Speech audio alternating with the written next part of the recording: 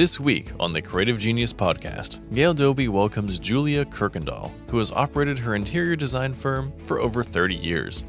In this episode, you'll hear all about the challenges Julia has faced and the lessons she's learned. And most importantly, you'll learn about one of the reasons she has been so successful seizing opportunities when they arise. Well, welcome, Julia. I'm so glad to have you on the podcast. And I'd love for us to just start and talk a little bit about how you got into interior design. Sure. Um, you know, it's been a long road. So that's been over 32, probably closer to 40 years. Um. But I've had Kirkendall Design for 32 years. So, of course, I was doing it part time way before then.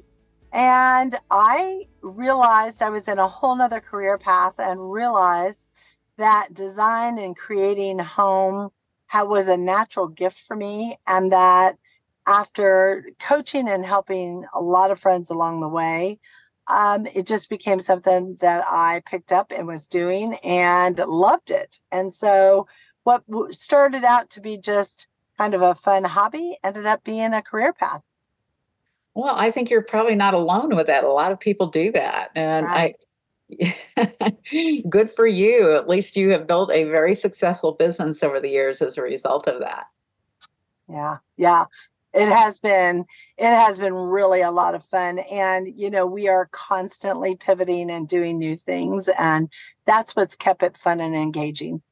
Oh, well, that's great. I can't wait to dive into that with you today. So, let's go back a little bit. And I can't remember exactly what year we met, but I do remember meeting you at High Point Market where I meet a lot of people. And um, and I remember our conversation. I'll never forget it. You came up to me mm-hmm. at the end of it and asked me some very pointed questions, which were great.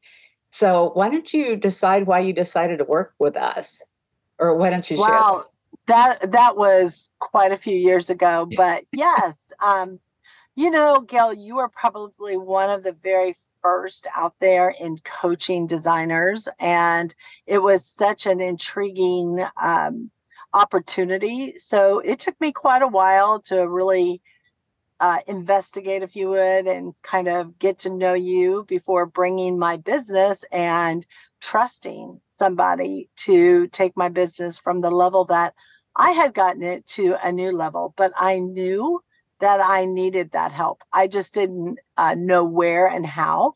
And listening to you and your qualifications and your experience really helped me feel comfortable. And like like you said, it was several questions. I didn't dive into it very quickly. It took me a little time, which I think is how I approach about everything. And then, um, you know, we got started in a coaching um, coaching situation for quite a few years. And mm-hmm. you absolutely helped me grow uh, Kirkendall Design to a whole new level. Mm, well, it's so fun, and it was it's been fun working with you. I just remember you calling me the principal more than once. yeah, yeah, for sure. Yeah, I like to have somebody um, who would have the wisdom and knowledge and direction that you could give because I re- I respond really well to that as I think you uh, made many mentions of you'd give me an assignment and I'd turn around and I'd get it down because I was so eager to learn, but also I respected um, what you had to say and your direction, and it made total sense to, uh, you know, explore and do do the work to be able to get the results. Well, I remember I gave you uh, one time when we were talking, I gave you some things to work on, and I my I specifically remember telling you you've got about six months to get this done. And when we had our yeah. next conversation, you had it all done. It was a month later. oh, you were so funny. And I just well, thought to myself, yeah. well, that's Julia. She she's going to take the bull by the horns and she's going to go take action and get it done. That's kind of how this whole thing started. You know, I started Kirkendall Design with two hundred dollars and wow. just some idea of what I could do with that. And quite honestly, I never looked back or even looked to calculate or count how much money I had at that point. I just knew I was not, uh, there was another level. And when I met you, which was several years into my business, and like I said, at that point in our industry, there were not very many people out there who knew how to or had the skill set to coach uh, coach interior designers, and um, it was a great, great find and connection. And yeah, it really helped. Well, thank you. Well, and you did the hard work though. So let's talk about some of the hard work you've had to do. What are some of the biggest challenges that you've faced over the years? So, for a long time, it was just understanding my value because it was such a natural gift. And I think that runs true even today. I still have to remember that what I do has, you know, intellectual value or it um, transfers to monetary value. And I think understanding my value and making sure that I took care of that and treated that respectfully for myself before I could somebody else and therefore, that also meant changing my mindset about money mm-hmm. um, and thinking that I could do something less expensive and better when what my client was asking for was just they wanted they weren't looking necessarily for less expensive. They were just looking for me to to do a really great design job. So i had to change my mindset and that was a big deal. That happened many many years ago um, and then I had to, of course, like a lot of us, we I had to stop trying to fix every problem that I came into. Um, and as we know that being an interior designer, it has its um, its correlation. There's a lot of similarities to being a counselor, and you're right in somebody's home. You get intimately involved with them, their family, and you start doing things outside of the scope of not only your work but only even your profession. So you just have to back out and realize that you're there to do a service and do it really great and provide that service and not try to fix everybody's problems. Mm, yeah, for sure.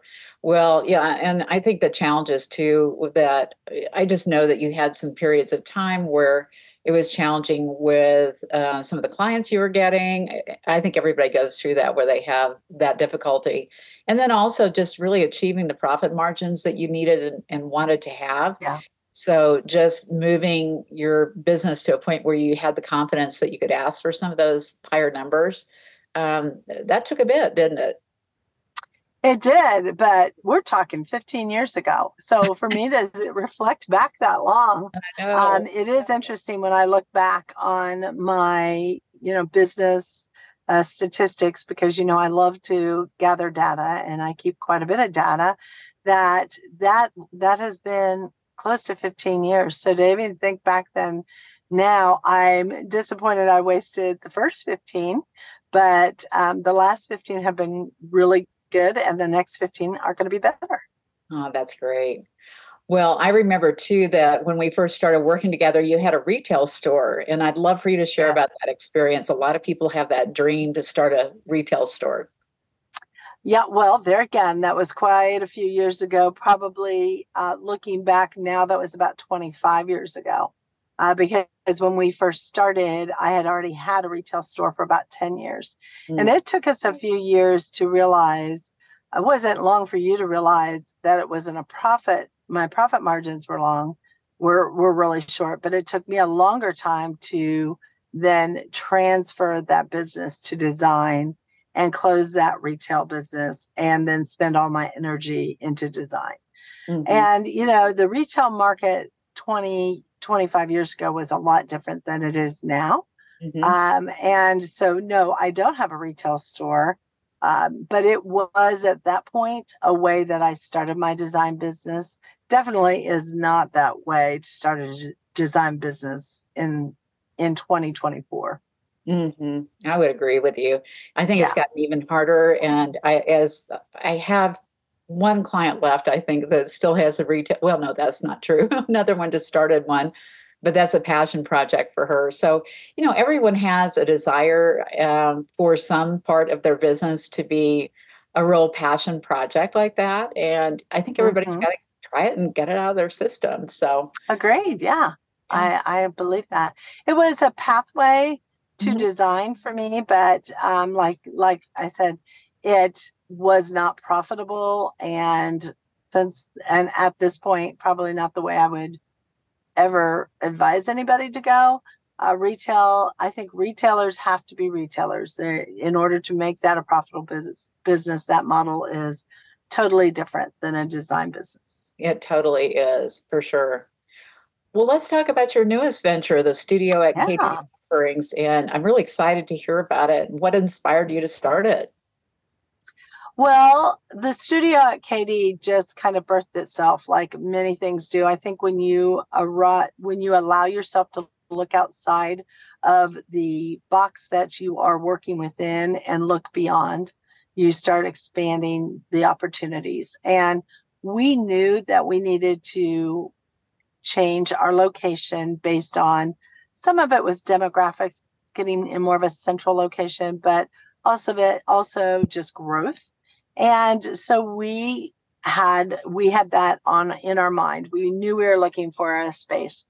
And during that time, you know, we we me myself manufa- mainly, I uh, was continually traveling around the country, and I came across a piece of property called or uh, an inn called Julep Farms, and it's in uh, it's in Dalton, Georgia, I believe. And Julep Farms was just very inspiring. It wasn't that, oh, that's what I want to do, because their design, they didn't have really much of a design aspect. But what it showed me was some different avenues that I could take design and grow my business in some different different revenue streams and breathe a little life in it for myself so that as a seasoned designer and a business owner I was doing something new and exciting and therefore regenerating my business. And so the studio at Kirkendall Design really, really came to fruition when we came across a piece of property in Tulsa that was larger than what we needed, that had all kinds of potential. And we decided, I had to decide in an hour to purchase it. Wow. Um, and that's one of those times when it, you had to, I already had the thoughts, we already had the dreams, we already had the vision of what we wanted to do. We had no idea that would be where we would do it. But I think that when you, as a business owner and a visionary, take the time to dream and look at the what ifs and the potential, then I believe that as you are as you are going about your day-to-day business which is what happened on that on that day things will come across your your path that that align with that and you just jump in and go for it. And that's what we did. So it turned into what did i buy? Because i bought what was a old nursery um, a building that was beautiful building wasn't all that old, but needed totally to be turned into design studio offices. And then start dreaming about all the potential that came with it because there was five acres of agriculture land, zoned land in the middle of Tulsa. So I had no really idea what I would do with that. And since then, we have um, we have developed the the studio at KD but probably one of the most important things to talk about that is that it only supports its function is to support our design firm. So anything that we do at and in the studio at KD has got to support Kirkendall Design. and that is another great lesson, Gail, that you taught me uh, in our coaching sessions was to use a tool called the impact filter. Mm-hmm. And to this day, I use the impact filter all the time. Mm. So that I, anytime that I, as a visionary, would have an idea or get a thought of this would be a lot of fun, instead of chasing or those thoughts or overwhelming my staff, I do take that time and fill out that impact filter and look at how that would affect the main business, which is Kirkendall Design. Hmm. So as we've processed through owning the studio at Kirkendall Design, the different revenue streams we built have all helped. They all relate back to developing the business of Kirkendall Design. Mm. Okay. Well, talk about some of the things that you're doing now. What are your revenue streams that you're Um, so some of the different things we have that we offer is we have a large building. We built a design loft on a second floor, and our whole lower lower uh, level of the building is being used during the week and on the weekends um, in different ways. One of the ways that we use it is for photographers to be able to come in during any time and use our studio for photographer st- sessions for uh, branding, for corporate, for business. Um, we've been very successful with that. And that is just one revenue stream where they come in and they rent out our studio for their photography sessions. Mm. So that's been fun. Another one has been for lifestyle um, workshops, we call them. And that's where we have professionals that are around our area and region that come in and teach different workshops, such as how to make a wreath for your front door or how to, you know, all the different. Uh, we had a really successful uh, sourdough making class, and then we have had a really great class on tablescapes. And all of those things relate right back to the home. Mm-hmm. Um, we offer for our clients and associates um, the opportunity to use our space for signature events, such as like retirement parties or bridal showers.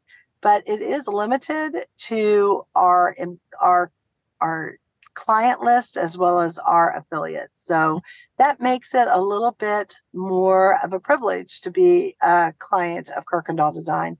There are a lot of pluses that come with that. Mm. Um, we have planted a beautiful flower garden, which our clients reap the benefits of that all the time. We are bringing fresh flowers with us all the time for their home and just kind of another touch that we get to offer to our clients. Along with that, then the other four acres that we have, we have a flower farmer who uh, grows flowers on that area and she sells them in the uh, different uh, farmers markets around our area. So we have been able to lease out the land that we're not using right now and get an income from that and allow somebody else to build a business, mm. which has made it a real beautiful, active area. So it's kind of fun to see that develop for now. So as you hear, there's there's several areas that we have developed Kirkendall Design uh, through the studio at KD. Every time somebody walks into our studio, they're surrounded in an environment that reflects our brand, tells the story of who we are, and it welcomes them in and gives them an opportunity to get to know us before they even begin to pick up the phone or get on the website and um, have a discovery call or an initial consult with us. Mm, that is so great. Well, I can't wait to see uh, some new photos yeah. of that. I'm sure by now yeah. all those flowers are even more beautiful than when you first yeah. started building. Um, they are. So you also have years of experience in construction, and your husband was in that business. So how right. important has that design build part of the business been for you? You know, it is a huge, huge part of Kirkendall Design as for because as a design firm, we can do a full service turnaround. We can offer complete complete services for any of our projects. However, I would have to say the pro is we can control the schedule and solve the challenges in house, but the con is there's not near as big of a profit margin in construction as there is in design. So you have to have a significant volume of business to make it worth it. So the you know there's a benefit that we that we have that we take certain level jobs we take certain jobs that we know that we will serve well but that is not the area that we really um, really make our most profits it too is an area that really reflects back to kirkendall design and helps build kirkendall design mm. That's fabulous. I think you've done a great job of diversifying your business with some very unusual things and maybe not the common grouping of things that most people have done before. How has that helped you through the challenging economic times? And we've had them several We've had them oh, yeah. running, yeah. Yeah, I think that that's important for any business is to diversify, and I do believe that designers um, are finding new and unique ways to do so. Mm-hmm. I think that um, we shouldn't jump on the same bandwagon of, as what you're seeing happen. I believe we're creatives and visionaries, so give yourself the opportunity to look and see what's important to you and your clients, and explore those things and open those doors so that you're able to find areas that serve your business best and go have fun with it. It will keep you engaged, it will keep your clients engaged. My staff is loving our new space. They love all the energy that people coming in are bringing. They love the opportunity to go out and sit out in the flower field or out in the garden and work for a while or meet with a client. So I think you just have to be bold. You have to look for those opportunities and jump in. Well, you are certainly bold and courageous, and that is always something that I think about with you. So good for you. Thank you. Well, what is your bigger vision now? Do you is there something beyond this? Have you do you have mm. ideas percolating? Well, yeah, of course. There again, I better get out the impact filter so I can see sure. if they're really going to be viable, right? Mm-hmm. Um, you know, I do. There's there's a lot of opportunity ahead every you know the big question is okay well what's your end game? What are what are you what are where do you think you're going?